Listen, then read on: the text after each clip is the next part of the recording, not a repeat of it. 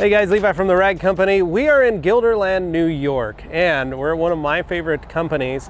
Uh, and we thought, since we're in the area, we're here on our East Coast adventure, why not stop in at our friends, Pure Adapt Detailed Image. So let's go inside, let's meet Greg, Mike, and the gang, and uh, let's check out how they do what they do. So,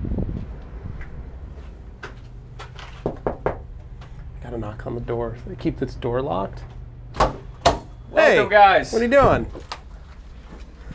Welcome, buddy. Thanks, Greg. Appreciate it. Yes. So this is uh, Yes, welcome. Front home, part? Home, home of Detailed Images, our offices. Here's some of our guys. Everyone's working hard as always. And uh, yeah, this is where we make uh, everything happen here. Come so on. this is like your main. The, you guys are the core, Mm-hmm. like customer service, orders, Everything, uh, yep. buying, shipping, all that stuff. Yep, we do all our own website stuff too. It's all done in house. So everything, all the shipping, software, everything basically is done more or less by us here too. So everyone in this room basically makes that happen. So Nice. it's just a small team of Well, us. It's- it's nice you all get to hang out together. Yeah, and, and we do. We, we, we do lunches. We, we, we obviously enjoy each other's company. That's 'cause, uh, good. you have to in that kind of space. So come on, we'll take a quick look at our conference Okay. room. What are you guys? Why are you? Why, why are you just sitting there? Oh, sorry, I didn't know uh, what's going. Are you guys doing the tour now? Dang it. Okay, sorry. Um, you guys go ahead. We'll, we'll be right behind you. Sorry, sorry. This is huge. This is nice. Yeah, thank you, buddy. We just did a little expansion here, and uh, it's been a big help to keep getting us uh, our shipments out fast and uh, efficiently. Yeah. So So is this this is receiving? This where the dock loading dock. Yep, we get packages in there. Got our nice little break room here dedicated for our employees. Keeps everybody happy. Gives them some downtime where they can watch, you know, whatever they'd like. Nice. And then we have a. This space has not been developed yet. We're gonna have a nice little receiving area. Basically, everything comes in here is checked manually, and uh, you know, we we really. There's lots of issues basically when incoming shipments. You have to really inspect them carefully for any kind of damages, shortages, et cetera. Just making sure that basically you got what you paid for, and that we can give this on to the customer, and it's what they're looking for as well. So, yeah, So, we take a lot of. so it'll be prettier. Yeah, so basically, yes, it'll be more expensive and more tables. Yeah, so, yeah. Take a tour with us here. So this is cool. I like that you've got all the parts, uh, you got all the products out Mm-hmm. and available to see. Like I said, at the Rag Company, Mm-hmm. we just have big boxes of towels and uh, we just read what the box says. So we don't ever get to actually have like this display. And this is actually really cool. Mm-hmm. Yeah, we're a just-in-time inventory system, so you're going to see us be a little leaner here with more frequent shipments, and we're also a first in, first out. So basically, everything here, you basically see someone sign for it, and they also put a date on there as well. So it's basically when we got that item in, and then basically that's how we know how to stock it and make sure that we're getting you know the oldest product out as fast as possible. So basically, everything you're getting from us, everything from us, we're hoping you're getting it within a couple months of when it was basically created. That's the, that's the goal basically. Yeah. So we're constantly working on that. And uh, yeah, so let's keep going on. So you, s- this looks too perfect. Yes, we did a laser level, Okay. the, the, and a little human eye, and a, you know we basically did our best. It's not quite perfect, but we got it pretty darn close. And you said you've measured out like your spacing, everything in between is, is Basically, almost every aisle, with the exception of one, which I'm not going to tell you about or why, but every aisle basically is completely equally spaced. Both the overstock section is a little bit bigger, and our pulling aisles basically are all standard distances, basically for safety reasons. So we always know how many carts we can get down there. Employees basically just you know everything feels very routine. Um, for them, and it's just safe. Um, Yeah. it- you don't think you'll ever have an accident, but you never know. So we're just trying to keep it wide enough that they can pull effectively, you know, without any safety issues. this is rad. So we've got about 70 different brands, 70 plus different brands. I think about 18 plus hundred products that are here. Um, obviously from all over the world, from you know Korea, Singapore, the UK, Germany. Obviously the good old US of A. We got a lot of stuff there too. But basically we will scour the globe wherever we have to go to bring something in. We'll do it. Luckily the last five, ten years things have gotten a little bit easier to import things, and they're- they're bringing USA reps for that too. But we've literally scoured the globe to bring in whatever we can. You know whatever we think is the best. You know we have to for Flex and Dodo Juice brands we brought in almost, you know, 13, 14 years ago. You know, that was a challenge back Yeah, in the day. yeah. Um, and we were proud to be one of the first to bring them over here too. But like I said, it's getting a little bit easier with the internet and everyone kind of, shipping has evolved so much as well with it. So That's so cool. yeah, so keep going along here. This is rad. You see our team hard at work here, pulling orders, getting them ready to go out. Yeah, this is Basically, awesome. anything you order by 1 p.m., you're going to have shipped out Eastern time. You're going to have shipped out basically the same day. So basically, always having that dependability that if you sh- if you order with us by 1 p.m., it's going out the same day with virtually no exceptions really too. So we want people to know they can count on us at any time to order, and they're going to get what they asked for in good shape. Um, when we said we are going to deliver too, so That's cool. We, we do our best. There's certainly you know delivery issues, but we're Yeah. working really hard at minimizing them. And is there like a, is it like, are you just putting stuff on the shelves to store it? Or is there like an actual like process around like where the products, each product goes?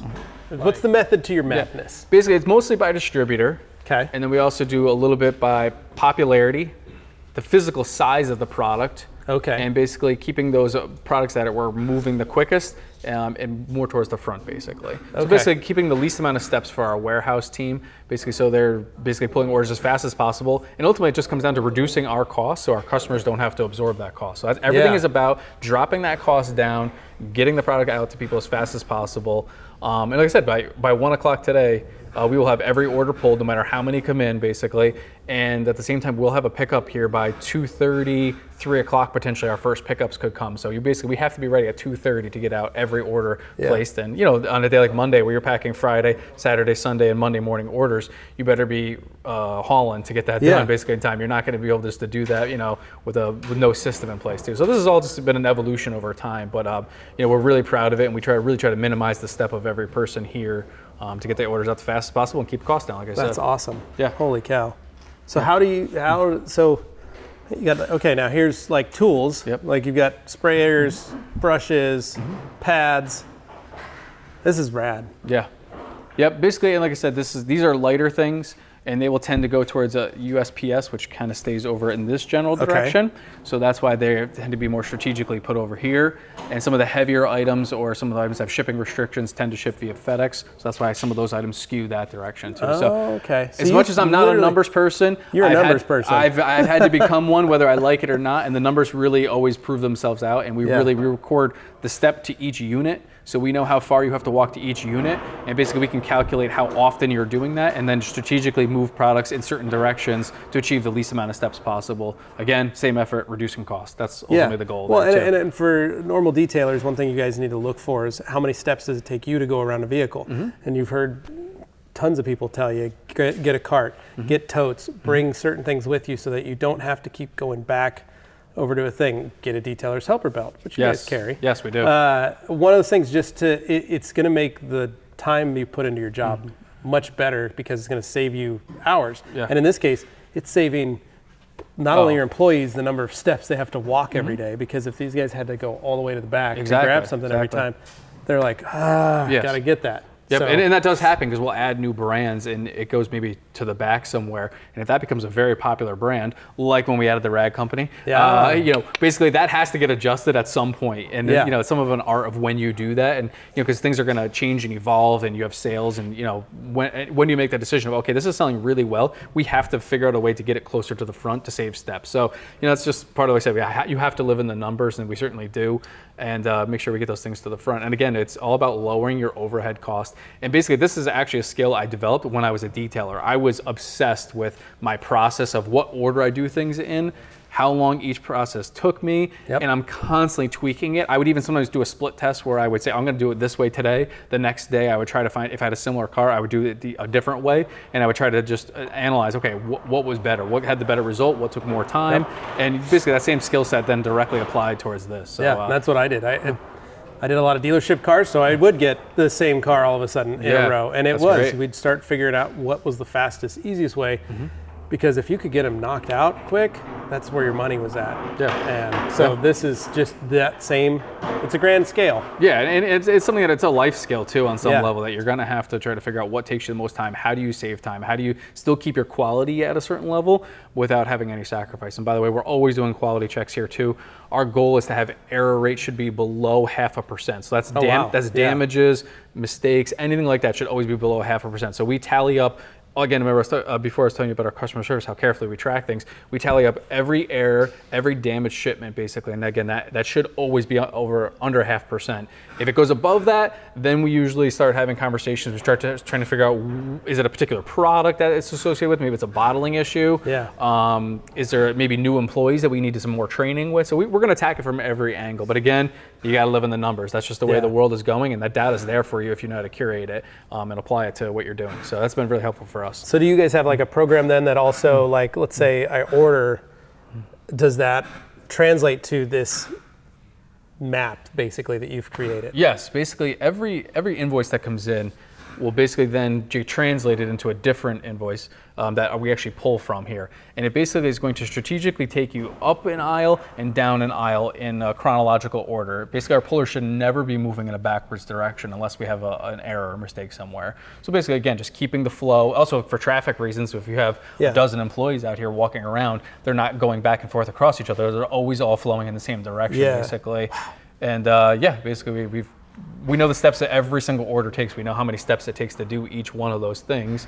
And uh, you know, someone might pull an order that has you know maybe 80 steps, another person Yeah. pulls one that's going to be 450 because it's, Right. they got to get all- you know 40 items. So uh, it, it- sometimes you you don't get the lucky That's- straw over Yeah, there. it's like getting a clean car and a dirty car. Exactly, exactly. You know, you- Same it's luck of the yep. draw. You don't know if it's don't- gonna be- When you open that back seat and then you figure out that oh they have kids and they're you know Yes. they've made a mess here too. So it's a similar again all the same things I learned while detailing and doing this. They've all gone hand in hand, and uh, ultimately it just relates to just us growing this thing and making it bigger and better for our customers. That's cool. Yeah, and we'll slide over here now. You're going to see our boxes.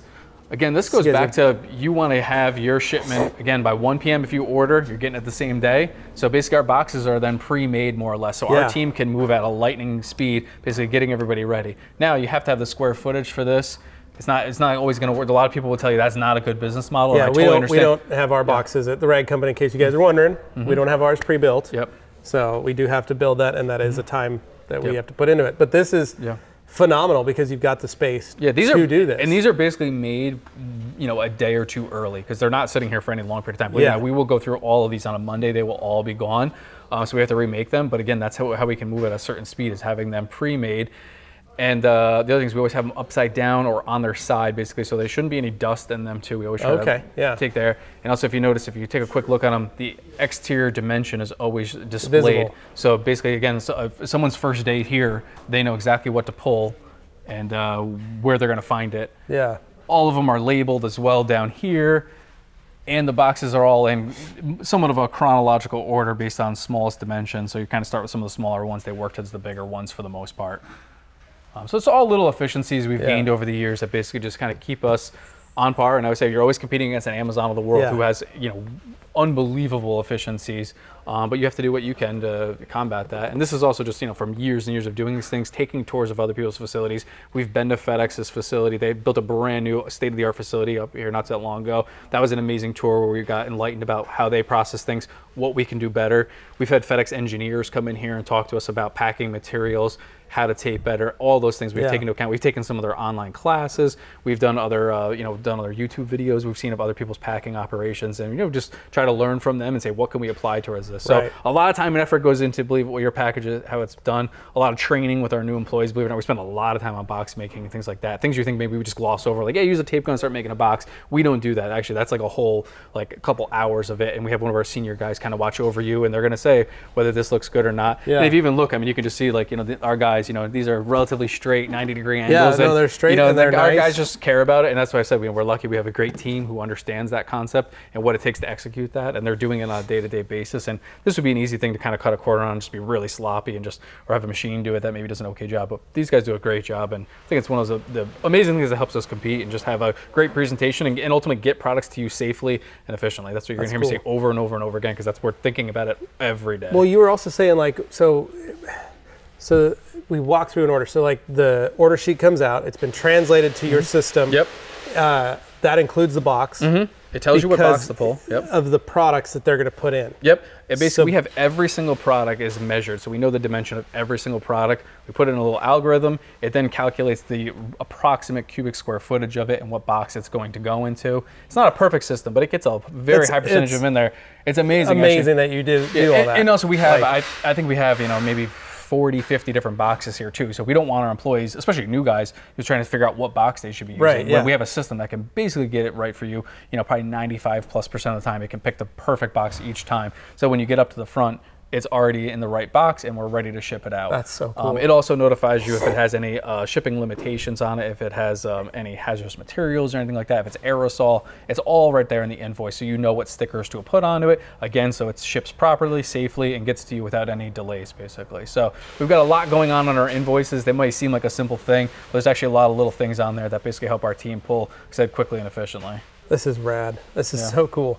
So if uh, so, what are your next kind of plans for the business? Like if you're because you still have some extra space. Yep, we're just moving. We, we, Yeah, you we're literally filling it just- quickly. Yeah, you had did do this whole big expansion. Yes, yep. Um, but so what are some of your other? Are you planning on doing like We got a more- couple new brands in the works. We're, Okay. we're looking at some things here. We're doing some testing. Um, as you know, that's a process. It takes a long Yeah. time.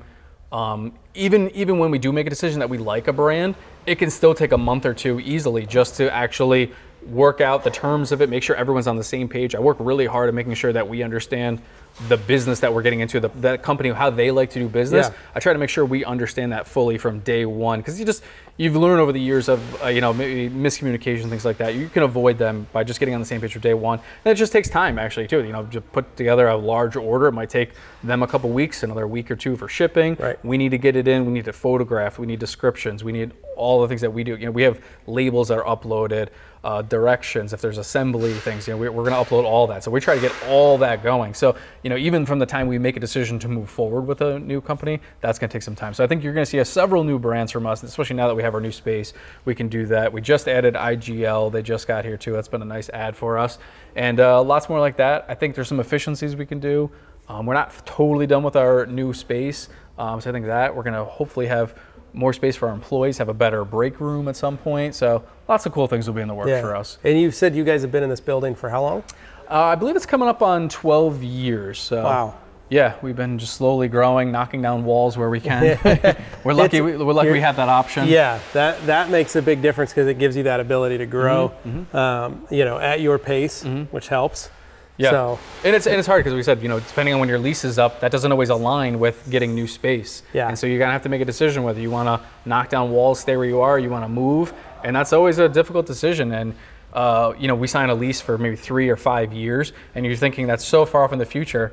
But then all of a sudden you realize you have to. Usually we have to re-sign within six months of it expiring. yeah, So really, you're making the decision at least a year, if not 18 months at a minimum. You have to be making that decision. So unfortunately, you never really get to stop thinking about your lease for very long, except for like right as you sign it, basically. Yeah. You can think about it, but then if you have a lot of growth, you think, okay, can I knock down a wall? Can I expand? So exactly. we've, we've had to think about it a little more than I thought we'd have to, but you know, good problems to have, and Yeah. we're, we're fortunate in many levels. No, this is this is nice. And if you look here, we got basically all of our signage here, basically telling us where to go. Basically, this is where employees pull 21, in. Unit Yep. 10, aisle two. Yep. We have middle entries. Our invoices tell an employee whether he should enter from the middle or if it's faster to go around the back again because we have all the distance and Yeah. all those things too. So just little things here, especially when you're new. Yeah. And we just don't want employees freestyling and kind of doing what they think is best. You know, we have math, and then over time it becomes second nature for the employees. They Yeah, don't need to look at it as muscle much. But uh, unfortunately, some of our guys here, they're uh, having to adjust with the uh, new layout. So when they knew where things were, now they're having to rely on it again, which is good because it tests our system. If we have Yeah. any mistakes or any issues we want to improve upon, hopefully they're identifying it. And also, they're a great team. Like they, they're right on it. Hey, this is this is not right. We can we can improve here. So we have to listen to that feedback, and they're really good at providing it. And for them, we do our best to incorporate it where we can, and it's really helped us to stay on top of it. So That's awesome. yeah, This is so rad. Like, so let's just say 10 years, 15 years in the future, Yes. you can put in robots. Yeah. technically you've already coded everything. Yeah, yeah, we're So already they could there. literally, they could literally do this. The hard That- part is, in our industry, and you know, even with Yeah. and everything too, is not everything's barcoded. Exactly. That's everyone always says, why don't you get things that do bar? And it's just like, yes, but half our manufacturers don't use barcodes, so Right. you're going to have to contend with that. And that's actually one of the things that it makes a, a relatively challenging. When you add that, you add hazardous materials, and you add in materials that expire relatively quickly. Obviously, nothing like the food industry, but you know things like coatings, you you have to get that out of your store in a couple months. You cannot Yeah. hold on to that for a year plus kind of thing. Yeah. So if you add all those challenges in there, it's it's not it, they're, they're not they're not minor barriers to entry. And then let's throw in a, a little competitor called Amazon, Right. You know, Walmart, the all the auto parts stores of the world too. I was like, it's it's a challenging business to be in. You're gonna have to survive on very slim margins. There's nobody, there's no easy way around that, and that's Yeah. why you. I think that's why you see us scratching and clawing so tightly for every bit we can to save customers because you have to. Yeah. If not, if you're giving away percentages here and there and there and there, it's gonna be very difficult for you to compete. And you well, and it, and it's one of those things like it's a it's a business and it's your baby. Yes. And you guys started this out of your parents' Yes, basement. basement. Yes, yep. So this is like- it's hard. It's hard to give it away. It's hard to put it in the hands of your employees. It's hard to let a brand go that you've had for over a decade that was in my parents' basement. You know, it's hard to let them go sometimes, but at the same instance, you have to make good business decisions, and that's not always convenient. And that's that's not something I enjoy doing. Yeah. Um, but it's a part of the business, and either you accept that and you adjust with it, or you're going to have a difficult time being successful. So, again, use the numbers. Yeah. Use, there's, there's metrics you can use for almost any industry, and detailers have them too. Um, I when I detailed, I always timed my details. Every detail I did, I timed it, and then you check back on what you did, what was good, what was bad, why was this not as profitable as other details, and also every detail I do. At the end of it, you start looking back and say, was that even profitable? We did so many details that weren't even profitable. We were Yeah. just Yep. we were just young and naive and just didn't know how to charge what we were worth. Now, hopefully, there's more resources. You can compare your website to somebody else's. You can kind of see what's being charged in your area and other areas. So hopefully, you can Yeah. do that better than we did in the beginning. But certainly, we're all lessons you just learn over time, and uh, those help. You know, the detailing business, and it also obviously help when we transition to Well, being and it- just a product business. Like, and I, I think a lot of detailers seem to forget that that at the end of the day, it's still a business. You know, so many of us want to, you know, maybe we didn't go to college, maybe we didn't Mm-hmm. finish, you know, high school, but it was it, it's something that we all find a passion in. Mm-hmm. It's something we all want to do, but. The bottom line is, like you're saying, you got to have those numbers because you got to make money at the end of the day. And I was the same way. I, I counted my cars, I counted, I timed it up, I timed my steps, and I know many of you watching and listen are still wondering how I was able to achieve a one-step polish in under 20 minutes, but it's doable. Uh, But it, it's it's finding those things. Yeah. One, it's fun. I think it's great for business to Yeah. learn that stuff because it's like a treasure hunt for yourself. Yeah, yeah. You and, and also it And it's benefits you. solving. Yeah. And I, you're exactly right. I mean, I grew up with the posters on my wall as a kid. I do this because I ultimately love cars and I love business and I love helping other people's business by getting them products in a quick way. But it's a business, and you know, what I mean, I said, oh, oh, my dream job is I gave it all away. That Yeah. would be the best case scenario. Is I would just give everything away all the time, and I would be that would be the best job ever for me. I would make me so happy. However, that's not reality. It's not going to pay the It- mortgage. yeah, exactly. It's not And- going to pay and I these take- guys. yeah, They've all got families. Yeah, exactly. When you have you know quite a few employees now, we've we've developed. And you know, I take getting them their paycheck. I take very seriously, and I, I take it serious that I'm giving to them for not only this week. I'm talking about for years. I want to be able Yeah. to share that this could be a home for them that they can Buy you know a buy a house, house on. and it's cars, they like yeah, when you start realizing someone's school. putting their mortgage you know on your what you're doing as a business.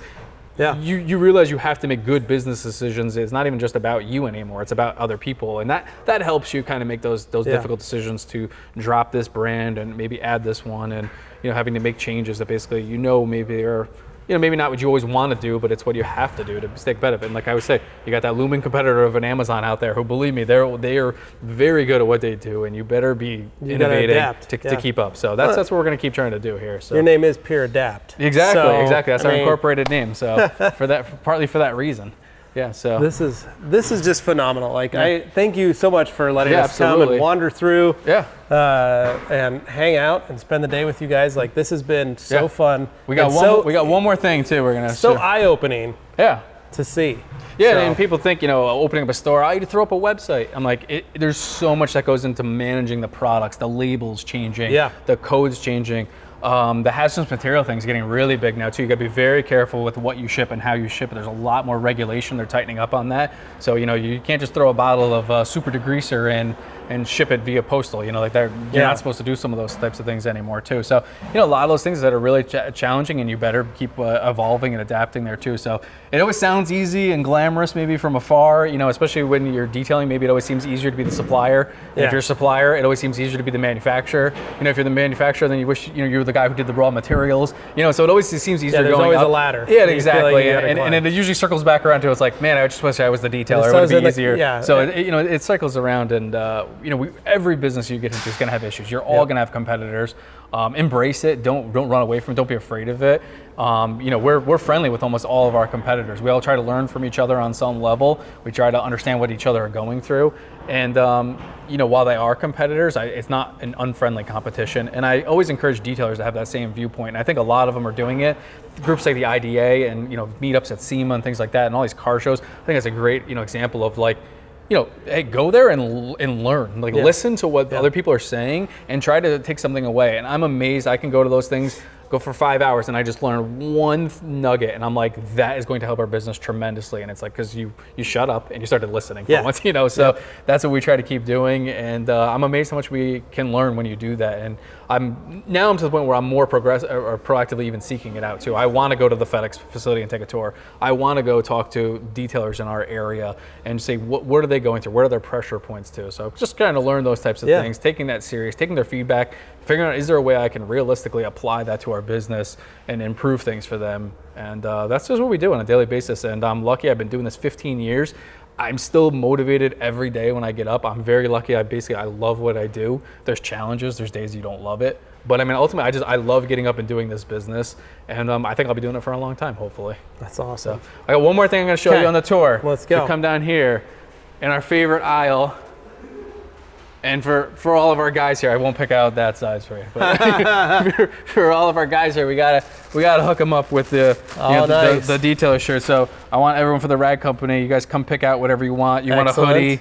Appreciate uh, it. You know anything like that? By the way, this was born. You can't quite fully read it, but it's our detailer shirt. This was just born out of just repping that you were a detailer. It's Yep. not really brand specific. It's not meant to be a, a particularly a detailed image related thing. Yep. It's just meant to be someone out there just rep that you're a detailer, that you're loving it, and uh, that's what these meant for. So, any, any of you guys want hoodies, Awesome, awesome. backpacks, whatever, that's Appreciate for the it. team. We want you guys to take some home Thank and just uh, rep being proud of being a detailer because we should be, for sure. So Yeah, this is one of my favorite. This Yeah. this is one of my favorite items that you guys did. Yes. Uh, My guys at, at my shop would get them, and they were very excited about having Yep. that stuff. This is my other favorite thing. Huh?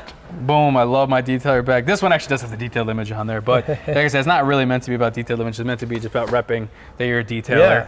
So um, that's one of our favorite things we picked up. Uh, my business partner Mike came up with that idea, and it was just one of those things we were like, so obvious. Like the Well- word detailer, like just Yeah. brand that, just put that out there. People should be proud of it.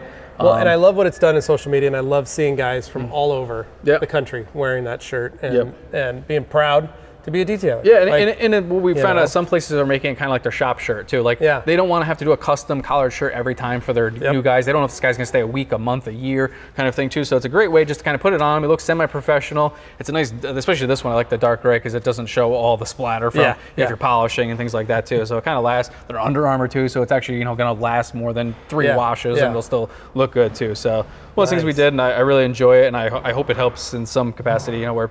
People just again rep that you're proud that you're a detailer. and Yeah. nev- never, never shy away from it. I I always say guys like you and me, we've been in it for so long, and we remember when it was, you know, we're scrounging basically. Yeah, people people, would ask, and we're like, oh, we're, we're detailers. Like I detail they don't. cars. They didn't even know what that meant Yeah. at one point too. And I said I, I, I, I didn't like the way I kind of almost timidly said I was a Yes. detailer. I resent that I used to speak that way. Yeah, me too. Whereas now I'm like, no, I'm a detailer. I'm very proud of what I do. And uh, I said I think it, it shows when you go to a show like SEMA now, when there's just whatever 50 booths now that are related to Yeah. detailing, as opposed to maybe there's five, you know, a decade plus ago.